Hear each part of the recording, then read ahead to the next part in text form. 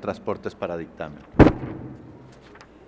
Tiene la palabra por cinco minutos el diputado Ocielomar Nieves López para presentar iniciativa con proyecto de decreto que reforme el artículo 36 y adiciona un artículo 46 ter a la Ley General de Acceso de las Mujeres a una vida libre de violencia. La iniciativa viene suscrita también por el diputado José Rubén Escajeda Jiménez del Grupo Parlamentario del PRI.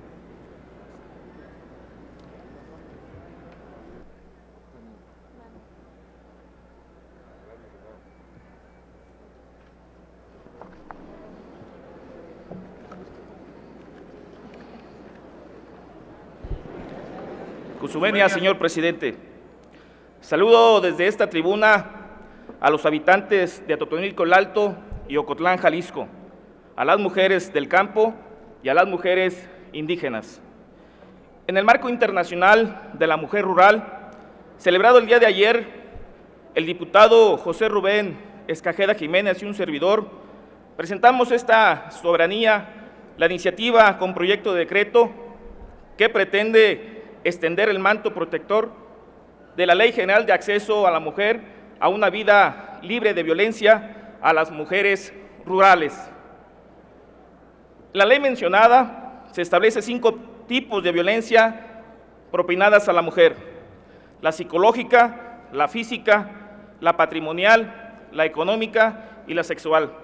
Asimismo se establece como una modalidad de la violencia en la que se presenta en la comunidad la cual se define como los actos individuales o colectivos que transgreden derechos fundamentales de las mujeres y propician su denigración, discriminación, marginación o exclusión en el ámbito público. En los últimos años, el rol de la mujer del campo ha transitado hacia otros horizontes, originados de gran medida por fenómenos sociales y económicos que han determinado nuevas relaciones de la mujer y la sociedad. Entre estos fenómenos encontramos la migración del hombre hacia otros países, hacia otras ciudades. Los hombres agudizan muchas veces, aparte la pobreza en el campo y la ocupación de espacios en la vida pública. De acuerdo con la Organización de las Naciones Unidas, en muchos países los estereotipos de género y de discriminación niegan a la mujer rural un acceso equitativo, el control sobre la tierra y otros recursos productivos, oportunidades de empleo y de actividades generadas a través de sus ingresos, acceso a la educación, a la atención de la salud y oportunidades de participación en la vida, entre otras. En caso de México, la discriminación hacia la mujer que habita en zonas rurales es todavía muy acentuada de hecho, la CEDAW ha formulado recomendaciones al Estado mexicano para que instrumente medidas tendientes al fortalecimiento de los derechos de las mujeres rurales, reconociendo que desempeñan un papel fundamental en la economía, en el hogar y en las comunidades. En lo que respecta a los derechos de propiedad y ejidales de las mujeres, estos últimos considerados de orden público y de interés social. El derecho de las mujeres respecto de la tierra está todavía muy limitado.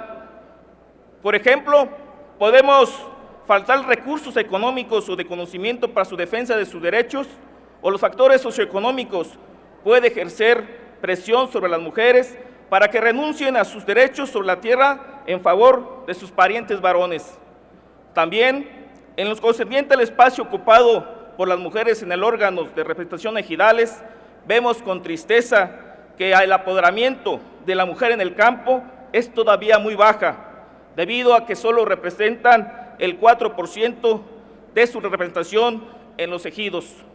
Así pues, debido a las condiciones sociales son distintas a las de hace 20 años, cuando entró en vigor la ley agraria y que no obstante la visión de este ordenamiento contempló la participación de la mujer en la vida agrícola. Hoy es justo compañeras legisladoras, que fortalezcamos los derechos, se fomente su participación en la comunidad y se combata la discriminación que subsiste en los ejidos y en las comunidades agrarias. Por ello, se propone que la Secretaría de la Reforma Agraria forme parte del sistema de prevenir, atender, sancionar, erradicar la violencia contra las mujeres, de que esta dependencia federal impulse acciones que aseguren la igualdad de acceso a mujeres y hombres en las actividades del campo, así como diseñar con la visión transversal la política integral con perspectivas de género para prevenir, atender, sancionar y erradicar la violencia contra las mujeres del campo e indígenas. Compañeras y compañeros legisladores, se trata de impulsar y proteger los derechos de las mujeres del campo y las indígenas. Tenemos el compromiso político y social y ético de seguir fomentando su desarrollo y, como decía, el benemérito de las Américas, formar a las mujeres con todas las recomendaciones que existe su elevada misión es formar gérmenes de regeneración y de mejoramiento social. Jamás debemos de descuidar este principio, elevando siempre a la mujer, nos elevamos nosotros mismos. En la legislatura pasada se reformó la ley para proteger a la mujer obrera. En esta legislatura les pido a los compañeros legisladores, debemos de dar igual protección a la mujer rural de la discriminación y la violencia.